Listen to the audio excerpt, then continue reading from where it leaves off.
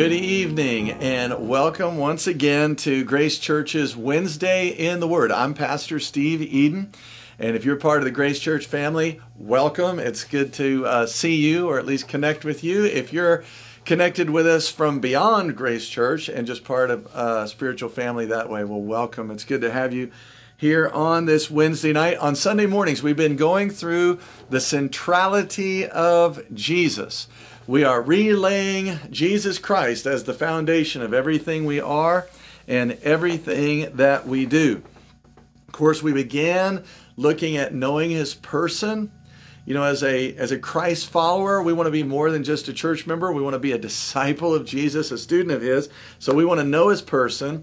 And then we've gotten into knowing his work. And we looked at uh, 1 John chapter 3, verse 8 in the reason the Son of God was made manifest was to destroy the works of the devil. And that's kind of where we've been the last couple of weeks. So, Father, we thank you uh, for tonight. We thank you for this time together in the good word of God. And Lord Jesus, apart from you, we can do nothing. So we invite you now into our scripture reading. Would you enlighten us, Lord? Would you, would you reveal once again the truth of who you are, your scripture?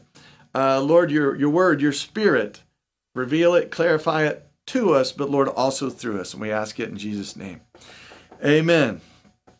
So I mentioned the second part of 1 John 3 8. The reason the Son of God was made manifest was to destroy the works of the devil. So as we've gotten into knowing his work, the first couple of sessions, we were looking at the, that Jesus came to reintroduce the kingdom of God to us by putting the Spirit of God back in us, that he might extend his Father's loving, redemptive rule, uh, his glory, fill the earth through us as his uh, uh, spirit born children who are reflectors of his image and his DNA. And so that's kind of where we started. If you've missed the fact, and it's funny, I've had people start coming to me now, they're shocked you know, they hear us talk a lot about the kingdom of God. This is the gospel Jesus preached, is the gospel, the good news of the kingdom of God, and now they're starting to find it all through scripture, all through the gospels. That's the way it should be. So that's why we spent a couple of weeks on that as the first one. And then the second thing Jesus came to do is destroy the works of the devil. And I shared with you, if you eat that word, 1 John 3 8, the second part there, the word devil is diabolos, and it means this in the Greek, a slanderer an accuser. Uh, he's one who comes to condemn in order to sever a relationship. So think about it. If Jesus came to destroy the works of the devil, of Diabolos, then Jesus came to destroy the enemy's slanderous assaults against us. He came to uh, destroy the accuser of the brethren, and then he came to destroy the one who came uh, to condemn us in order to sever our relationship with God. Let's go over to Hebrews chapter 2 real quick. Hebrews chapter 2, verse 14 and 15. Inasmuch then as the children have partaken of flesh and blood, he himself likewise, Jesus, shared in the same that through death he might destroy him who had the power of death. And of course, that is separation from the life of God, that is the devil. So the enemy had power in order to separate us because of sin and the fall in the Garden of Eden. But Jesus came to release those who, through fear of death, fear of separation, because we felt guilt and shame and all those things, we were all our lifetime subject to bondage. Jesus came uh, to eliminate, to do away with the devil and his uh, onslaught in regard to convincing us that we were separate from God. And guys, we were until Jesus Christ, the last Adam, came and made everything right. Now, before I get too far uh, into that continue on, I want to throw back out Luke 6 because the Lord just reminded me of this. I think it's very important. Luke 6 46. We started Sunday morning with this. Listen, why do you call me Lord, Lord? Jesus said, and don't do the things that I say. Why do you call me Lord, Lord, and don't do what I ask you to do?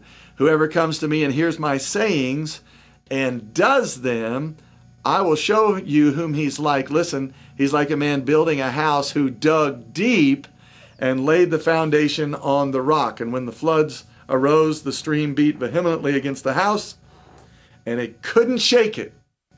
It was unshakable, for it was founded on the rock. I want you to notice there, the Lord showed me this Sunday morning early, that in digging deep, okay, it's not just finding nuggets of truth and wow, that's really deep. No, digging deep with Jesus is when you do what he says. When we hear what he says and then do it, he said, I liken that to a man who dug deep and laid a solid foundation. And why is this important? Because again, this is what this entire series is about when we're talking about the centrality of Jesus and laying him as the foundation of our personal lives, our home and family, our business, our church, every aspect of our life, our sportsmanship, how we are when we're in traffic, how we are when we're dealing with difficult circumstances or relationships. We want Jesus to be Lord of our life. We want to lay Him as the foundation of anything and everything that's being built in our lives. So I wanted to get that back to you because the Lord reminded me of that just moments ago. But when you look at Jesus coming to destroy the works of the devil, and, and I think it's tied together because when we're laying Him as foundation, we're knowing His person and we're also knowing His work. Now we're going to get into knowing His teaching and obeying Him and knowing His authority and knowing His voice. But here's where we are right now. We're really trying to capture, as students and followers, disciples of Jesus Christ, that we are aware of why He came. Listen, if you don't love Jesus in a radical way, it's okay. Don't panic because you simply need a revelation of all He came and accomplished on your behalf. We're talking about here you know, he came to reintroduce the kingdom, put the Spirit of God back in us. Jesus lived, died, rose again, and now lives in you by the Holy Spirit if you're a born again Christian. But then he came to destroy the works of the devil. All that fear, guilt, separation, and condemnation, he came to, uh, to destroy it and put it away. So I want to read now Romans chapter 5, verse 14 through 19 again. This is in the Message Bible. And I read this on Sunday. Wow, it's uh, it is so powerful. I love the way the author just translates this. Uh, let me see. Yes. So death, this huge abyss separating us from God, dominated the landscape from Adam all the way to Moses. Even though, uh, even those who didn't sin precisely as Adam did by disobeying a specific command of God, still had to experience this termination or separation in life. But Adam, who got us into this, all point, also points ahead to the one who's going to get us out of it. Yet the rescuing gift is not exactly parallel to the death dealing sin. If one man's sin put crowds of people at the dead end abyss of separation from God, just think what God's gift poured out through the one man Jesus Christ will do. There's no comparison between that death dealing sin and this generous life giving gift. You know, I love this is message. I love the Passion translation as well. But they're both really emphasizing that whatever Adam's sin did to us, it pales in comparison in the way of power and effect to what Jesus Christ has done to make it right and to set us free from death and separation from the life of God. Oh my goodness. No comparison, he says. The verdict on that one sin was the death sentence. The verdict on the many sins that followed, uh, that, that followed was this wonderful life sentence through Jesus Christ. If death got the upper hand through Adam's wrongdoing, can you imagine the breathtaking recovery that life makes, absolute life, in those who grasp with both hands this wildly extravagant gift? This grand setting everything right that the one man, Jesus Christ, has provided. Here it is in a nutshell. Just as one person did it wrong, that's Adam, and got us into this trouble with sin and death, Another came and did it right and got us out of it, out of separation and into union. But more than just getting us out of trouble, he got us into life. One man said no to God and put many people in the wrong. One man said yes to God and put many in the right. And of course, that's diso- that's one man disobeyed. That was Adam. He heard, but he didn't obey. And then Jesus came and he obeyed perfectly. He heard the voice of his father and then he carried it out. You know, everything that Jesus came to do and to restore for us, give us back, has to do with our role here on earth. He came to reconnect us to the life of God. Why? So we can express the life of God. So we can put God on display for all the world to see. You guys know as well as I do that right now in this country, and I believe throughout the whole world, the, the world and people, Americans, whoever, they need to see who God really is in this hour.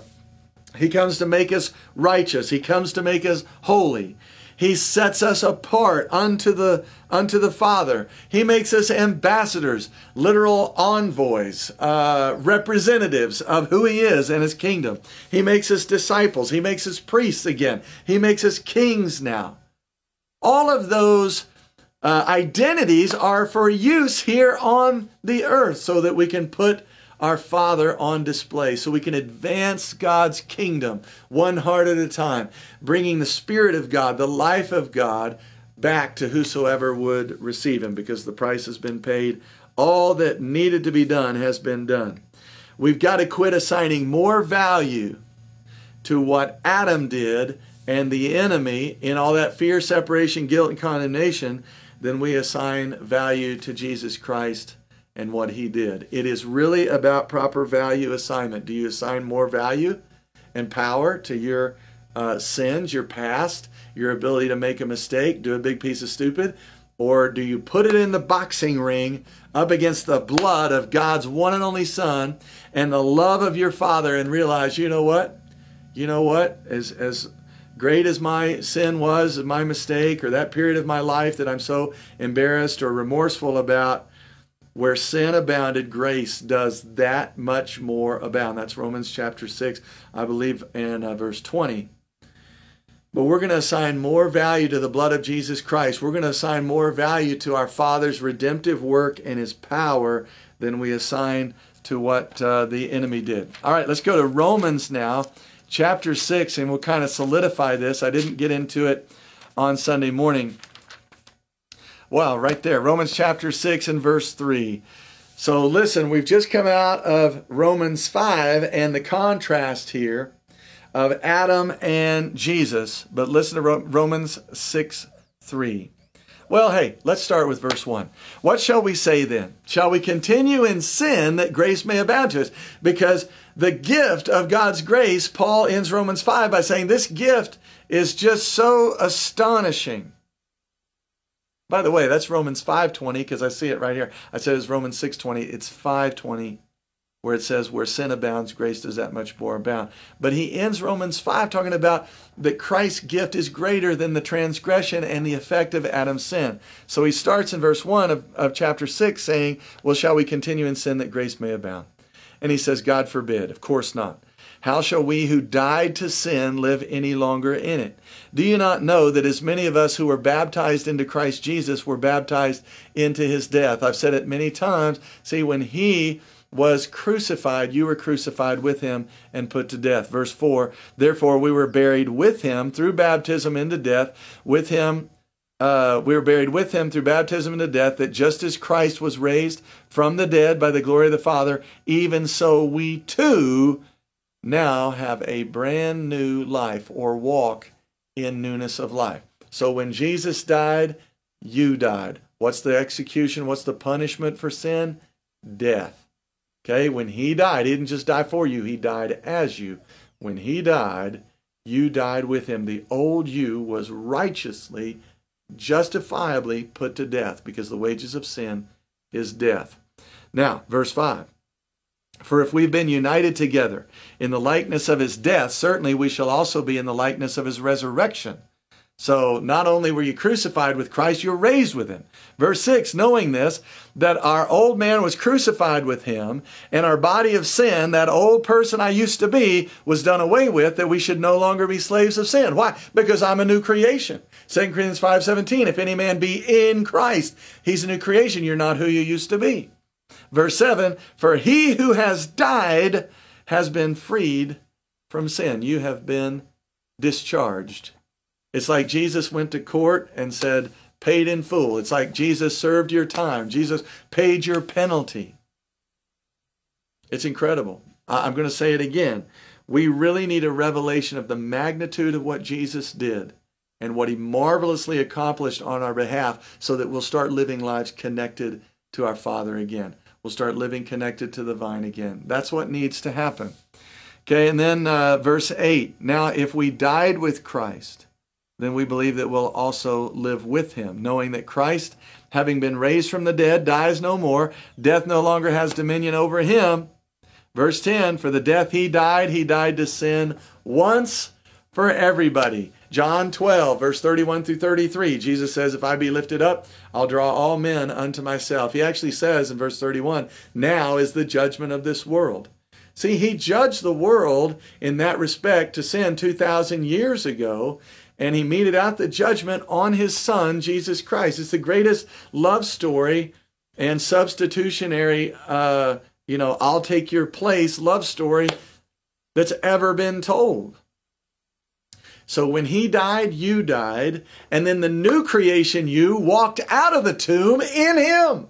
And as we'll get into this Sunday, remember in the new covenant, which the five terms are these I'm going to write my law inside, in your heart and in your mind. I'll be your God, you'll be my people. He says, No man have to teach his brother, saying, Know the Lord. All can know me from the least to the greatest. We're going to do away with hierarchy. You don't have to be rich. You don't have to be a certain family. You don't have to be born in the nation of Israel to be in this covenant. Everybody can know me from the least to the greatest. Glory to God. Then he says, Your sin and lawless deeds I'll remember no more. So that's the terms of the new covenant, and that covenant is between God and his son Jesus Christ. So if you're not in Christ, get yourself in Christ. And you say, Brother Steve, how do I get in Christ? You invite him in. It's John 14. He and the Father will come and make their home on the inside of you. And the only reason He can come and live on the inside of you is because He died for you and eradicated your sin. Past, present, and future sin has been cleansed. Listen to what it says again. Verse 10 The death He died, He died to sin once for all. You've already been executed for your sin. So stop living back there. Now, I don't mean that you ignore transgressions in the present tense because let's be honest with Christ living on the inside, then, then when we misstep, we feel conviction. But you've got to be able to rightfully divide and discern the difference between conviction of the Holy Spirit reminding you, hey, that's not who you are. That's death. That's the old life. That was the old you. We don't, that's not who we are. That's conviction versus condemnation. That's what Jesus came to destroy, that work of the accuser, the slanderer. You are not guilty in the courts of heaven because of what Jesus Christ has done. And, and yet, look around in America. How many people are struggling? They, they just don't believe they have uh, reconciliation with God. They don't, they don't see how they've been united to Him. And, and the reason is because they live by what they feel, they live by what they see, they live by uh, how they behave instead of living by the truth. And you say, well, Brother Steve, you can't ignore behavior. I agree. But don't start by addressing behavior. Start by addressing belief in the truth. Second Thessalonians 2:13 says we are sanctified. We become more and more like Christ in action, behavior and attitude by the work of the Holy Spirit that's in us and by believing the truth. I'm not I'm not saying don't address people's behavior, but address their belief about themselves. Address their belief in the truth first. Because once you start believing the truth and knowing the truth, Jesus said, partnering with the truth, it'll set you free. It'll liberate you and it'll change your behavior. My goodness, religion is always out to, to twist and correct outward behavior. Jesus is coming to fix your heart, fix your motive, and now empower you to, uh, what's, what's the word? Empower you to keep his commands, to choose his choices. That's what I was looking for. He's living on the inside of you. That's what conviction does. Empowers you to choose his choices. See, if you think grace is just a doctrine, then what you think is, oh my goodness, you know, Steve, when, when you preach this, that, and the other, you're just saying people can go out and sin. And uh, no, grace is a person. Yes, there's a legal standing in the courtroom of heaven whereby Steve is not guilty. He's in Christ, therefore his slate is clean. My slate, my track record looks like that of Christ. What's in my account is actually from Christ's account. And it's full of righteousness and right standing and fulfillment of the law and every requirement. I mean, it's incredible. But it's Him It's him. He's the one who did it. Let me continue on. I kind of got, got excited there. Verse 11. So likewise then, Oh, wait, I didn't finish verse 10. The death he died, he died to sin once for all, but the life he lives, he now lives unto God. Jesus Christ is still living his life unto God, but he's no longer in the carpenter suit. He's in you and he's in me. So what, what's the work of the Christian life? What's the real work? To believe him, trust him, yield to him, rely upon him, uh, live connected to him as a, as a branch does to a vine, be sourced by him and let him express his life unto God through you and me. Hallelujah. Verse 11, likewise, you also reckon yourselves, consider yourselves, acknowledge yourselves to be dead now to sin. The old you died. Dead to sin, but alive to God in Christ Jesus our Lord. How are we alive unto God? We are in Christ. 2 Corinthians 5, I mentioned it, 17. If any man be in Christ, he is a new creation. The old has passed away, new things have come. And then he goes into verse 18 that the Lord has reconciled us uh, to himself. And that we're so reconciled, the Lord gave us the ministry now of reconciliation. I just beg you on behalf of Christ to grab a hold of the reality that you really have been reconciled and it was no work of yourself. It was not what you did, it's what He did on your behalf, but you have received it. Therefore, you are in the covenant and receiving those blessed promises that come with it.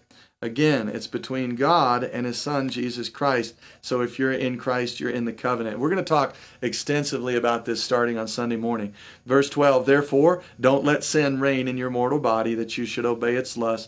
Don't present your members as instruments of unrighteousness to sin. Present yourselves to God. To God. Don't spend your whole life fighting against sin. Spend your whole life presenting yourself and representing yourself unto the Lord as being alive from the dead. Man, again, I'm not after your behavior. I'm after your belief in the truth that determines your behavior. Present yourself on a regular basis as alive unto God, alive from the dead, and present your members as instruments now of righteousness to God. So you tell the devil, you shut tell tell the devil, shut up, devil. I'm not yielding my body as instruments to disobedience and unrighteousness. I've been bought with a price. I'm a brand new person. I'm a brand new creation. I'm yielding now the members of my body, my mind, all those things which are the Lord's now because He bought them. But I'm yielding all of myself to Him as instruments of righteousness. Verse 14 For sin shall not have dominion over you. You are not under law, you are under grace. And let me say again grace is not just some doctrine, grace is a person. You can read it in Titus chapter 2, verse 11 through 14. There's your homework for this week. The grace of God appeared, and He teaches us to deny ungodliness. So, grace is a person. Anyway, guys, I wanted to share that with you. Uh, tonight. I pray that blesses you. Jesus Christ came to destroy those works of the devil. Your emotions are real, but they are not reliable. And so when you start feeling accused and belittled, rejected, you start having feelings of, well, I'm not really forgiven, I'm not really clean, I'm not really righteous. Uh, you have feelings of guilt and shame and condemnation. You put the devil underneath your feet where he belongs because Christ is in you. So the devil we know is under Christ's feet. That was prophesied all the way back in Genesis. He's done it. At the cross, he put the devil underneath his feet and then rose from the dead. Christ is in you, so the devil thereby is underneath your feet. And you tell him, You are a liar. You are a deceiver. You're a false accuser. In Christ, I've been made right. And because of that, when I stumble, I'm going to get up and I'm going to keep going again. I'm going to take God His word. Uh, word. I'm going to get back to the truth and live the life that He has destined me and lovingly created me to live. Guys, you're too great a creation to be satisfied by sin. Only the Spirit of God can satisfy you. I think the real deception of sin that gets us uh, you know, the enemy likes to trick us and deceive us into it. But the real trick and deception of sin is that it could ever satisfy you. It can't. Only the one who made you can satisfy you. Father, I pray tonight, uh, Lord, for great breakthrough for those of us here walking uh, with you at Grace Church and then beyond Grace Church. Lord, all of us who have ears to hear, I pray for a great breakthrough. There is a time that is coming, and I believe is yet now here, when people who call your name, who say, Hey, I am yours, Jesus, and you are mine, that we turn from the ways of the world. We come out of the wickedness. We come out of the systematic thinking, the human, uh, humanism that dominates the culture. And Lord, we cling to you. We cling to the truth. I pray, Lord, for breakthrough tonight that by revelation, people begin to see the magnitude of what you accomplished. We love you, Lord, in Jesus' name. Amen.